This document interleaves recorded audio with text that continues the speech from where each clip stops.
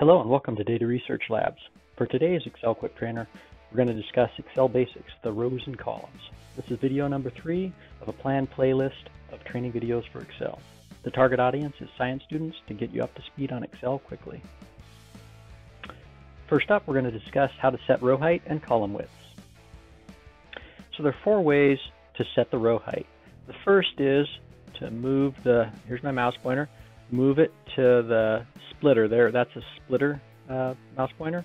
And I get that by hovering. I can go anywhere. Let's see. I can hover right here between rows 5 and 6. Once I get the splitter, then I can click down on the mouse pointer, left mouse pointer button, drag it. Notice as I, am still holding the mouse pointer button down, notice the height. that tells me exactly how many uh, 75, 76 pixels, etc. And then I'll release the mouse pointer and voila, there. That's method number one for setting a row height. Now, method number two for setting the row height is to get the mouse pointer to a splitter again by moving it right in between and just double click. And it'll auto size to whatever the smallest row height is. And in this case, there's no data in the cell and it's uh, 11 point, so it's just going to auto size right back to that. So again, drag it, drag another one, double click, well, get the mouse pointer to a splitter and then double click. So that is the first two methods of setting row height. And there's two additional methods. Uh, method number three is to change the font. Let's put some text in here. We have 11 point font. Let's make it bigger. And as I make it bigger, look at the row height. And as I make it smaller, the row height shrinks back down. And let's just reset it. We'll copy and paste. Okay, so the fourth method for changing row height is multi-line.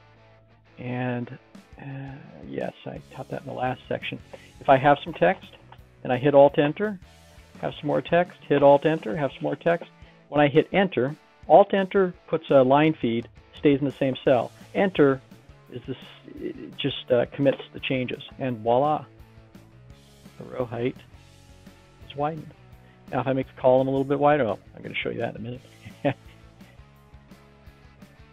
And there it's corrected. But look at all that white space. And again, I could use one of the prior methods and just double click and it'll automatically reset the height. So that is the four ways to set a row height. Column width, a bit different. Let's uh, do the first method, you drag it. And you drag it, and it gives you the pixels and the width up there as well. Now there's a second way that you can change column width besides just dragging it. Let me get some text in here. So that's a little bit shorter than the column width.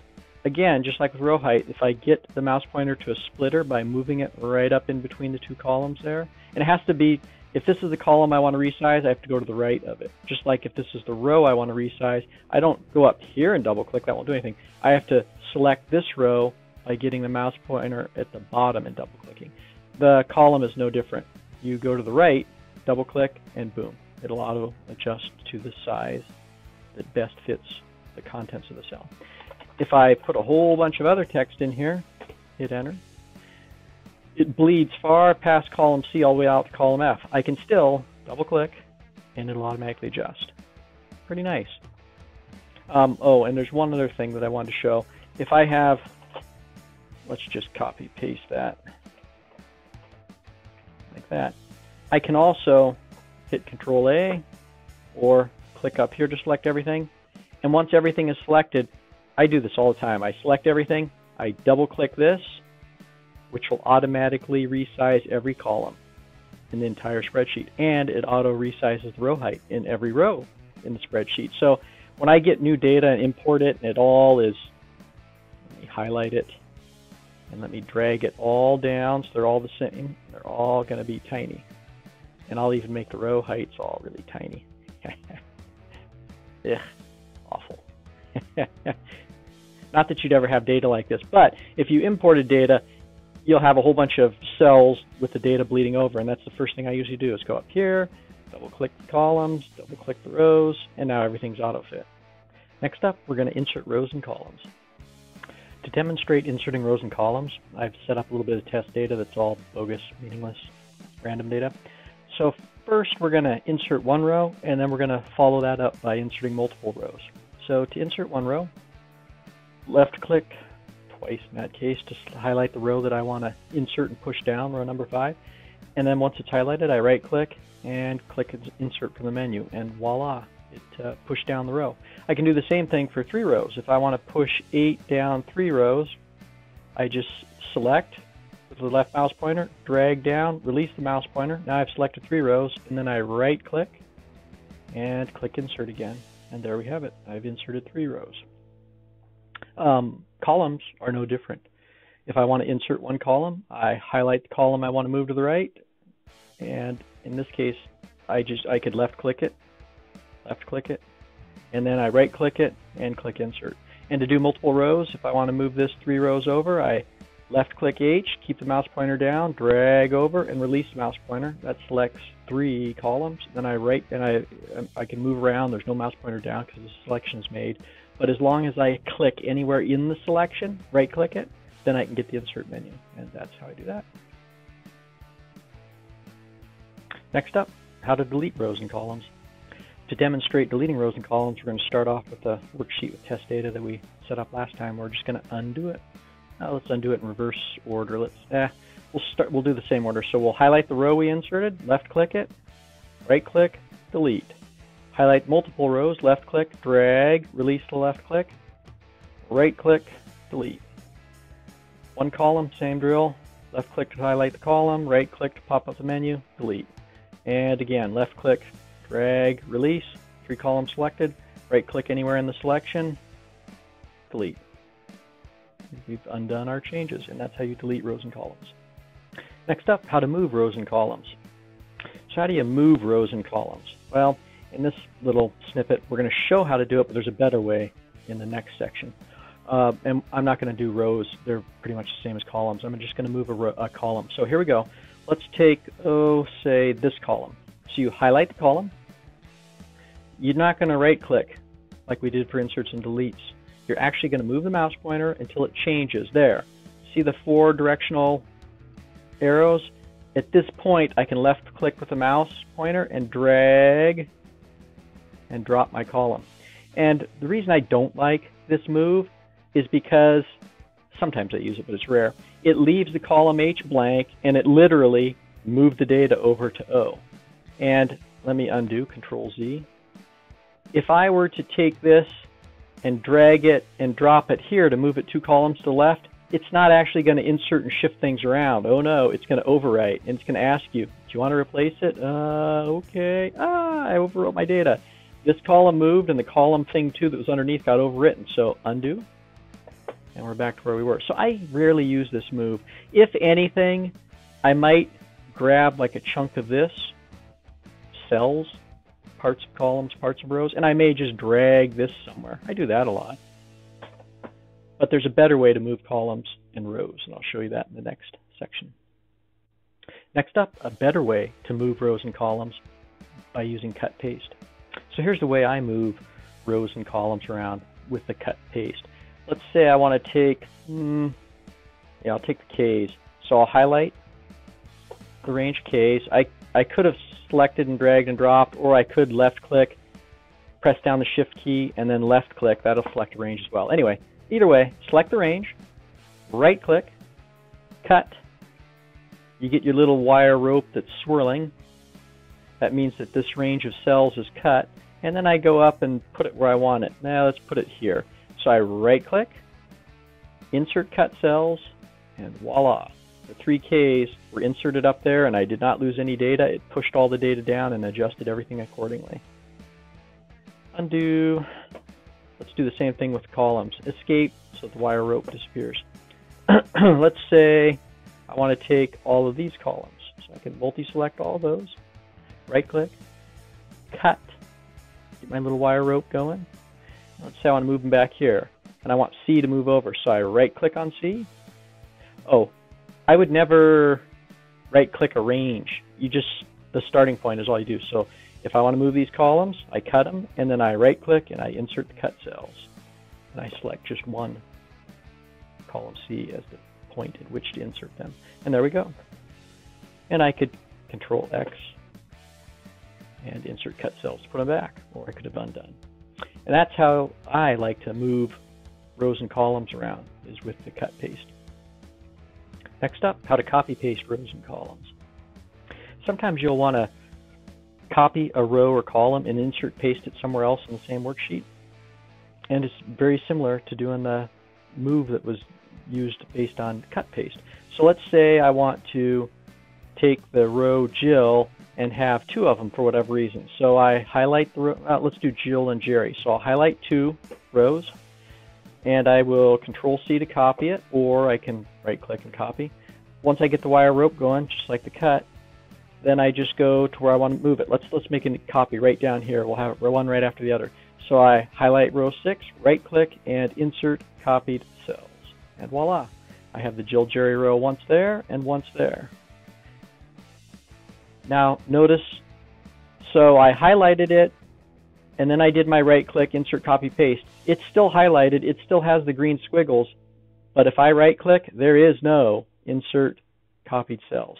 So that's one interesting thing. For whatever reason, every time you do it, you have to re-copy it. And now you get one shot with a right click, insert copied cells. And once you use that shot up, it's gone. You only have insert there. So just be advised of that. You have to redo it multiple times. Undo, undo, oops, redo. And uh, columns are no different. I can, let's do age twice. Copy, right click, insert copied cells, and voila, puts it in. Next up, how to freeze rows and columns on screen so that they don't scroll off. On big worksheets, it can be important to have navigational cues to know where you're at. As such, Excel allows you to freeze columns and rows. So here on this sheet, I've expanded it a bit, but it has multiple columns. I can't see what's over on the left. I can't see the uh, ID column here. It's gone once I start scrolling. And then likewise, when I start scrolling vertically down, I'm going to lose my column headers and not know what is this? I don't know what that column is. It's been lost. So that's why you will want to freeze rows and columns on bigger worksheets. First, let's start by simply freezing the top row, the column headers here. To do that, doesn't matter where your cell, what cell is selected or what's going on, simply click View, Freeze Panes, freeze the top row. And it was subtle, but there's a dark, well, a moderately dark gray line that goes all the way across here. It wasn't there before, and now it's present. Uh, if I scroll now, look what happens. My column headers stay, and I can scroll without losing that. So again, that was view, freeze panes, freeze top row. Now if I want to undo that, I simply go back to view, freeze panes, and unfreeze panes. And when I click this, watch that gray line. Oop, that gray line disappeared right there. And now if I scroll, it's just another cell. It's no longer a header cell. It disappears. Likewise, you can freeze the leftmost column here of these ID fields so that they don't scroll off screen. Watch, they scroll off screen and I can't tell what ID I'm at. So to do that, doesn't matter what cell you're anchored on, go to View, Freeze Panes, Freeze First Column. And voila, that darker gray line appeared and goes shoots all the way down, splitting it. Now when I scroll, that's very nice. That left column doesn't move. And when I use the cursor key, it's the same thing. To move, I can move off screen and it's just going to scroll, but leave that nice anchor column there. To undo the column freeze, same as before, go to the View menu, Freeze Panes, drop down, Unfreeze Panes, and now we're back to normal. Now, neither the header row 1 or the leftmost column stay locked. So how can we freeze one top row and the leftmost column all at the same time? Well, the answer is surprisingly simple. Just highlight the cell that's in the, in the intersection right below the row and right to the right of the column. It's uh, with the blue highlighted sections here. It's really easy to see. Um, anyway, you just put the cell pointer there and click View menu item, Freeze Panes, and then freeze panes again. And look what happens there. Now we have a line going down this way and a line going that way, and as we scroll down, the header row doesn't move, and as we scroll to the right, the column doesn't move. So we've done both. And again, just like the other two sections, anytime you want to undo it, view, freeze panes, unfreeze panes, and it's gone. Now, if I want to do something crazy like have a 3 by 3 so there's 3, there's 3, or my 3 by 3 grid, grid, I can click right down here and I can make that my freeze pane sections. View, freeze panes, freeze panes. And now I have the top three rows and the left three columns. So sometimes you have a table and you have a primary key and if your column headers you'll end up having several columns that you freeze and one or two rows at the top. And to undo this all again, freeze panes, unfreeze. And the last topic for this quick trainer is how to rapidly move around with control and the arrow keys. On big worksheets, it can be important to move around quickly. Even on this small data set, I may want to jump around. And uh, there's a way to do that, and it's by holding down the control key and pressing uh, cursor directional key up, down, left, or right. And what will happen is, the you, let's say I'm on this cell. If I hit control right, it's going to jump to the next difference. Well, the last populated cell before a difference, which is a space. So control right, jump me here. If I hit control right again, it's going to jump me to the end of the workbook. Control left, first change is that rightmost position in my range of data. Control left again goes to the beginning. Control down goes to the first change, which is the end of my uh, data set. Control down again jumps to the very end of the workbook. Let's uh, page up a bit, throw a little bit of data down, throw a little bit of data down, page up, throw some data down, control home. Okay, control down jumps me to the first difference, scrolling screen. Control down again jumps me to the next difference.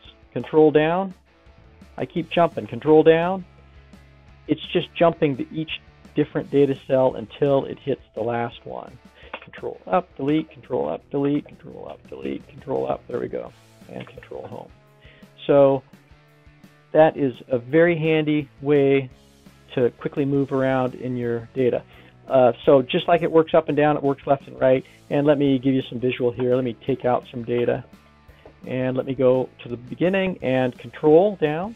And then uh, right arrow. Control, right arrow. Oh, oh, I shouldn't do that. My keyboard's broken. Let me try that again new keyboard and it came with the right arrow key broken.